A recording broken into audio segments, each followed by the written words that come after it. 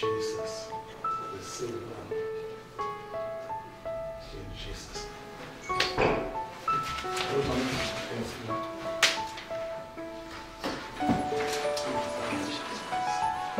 Is Elise Wallace and we're coming from Brooklyn. Well, I heard that he's a prophet and he does impartation, so we came to receive some impartation. Of course, I, I watch him on the internet. He's a real powerful, anointed man of God. Believe you me, he can read your, your life, your heart. My name is Elise Wallace. Keep on watching Charis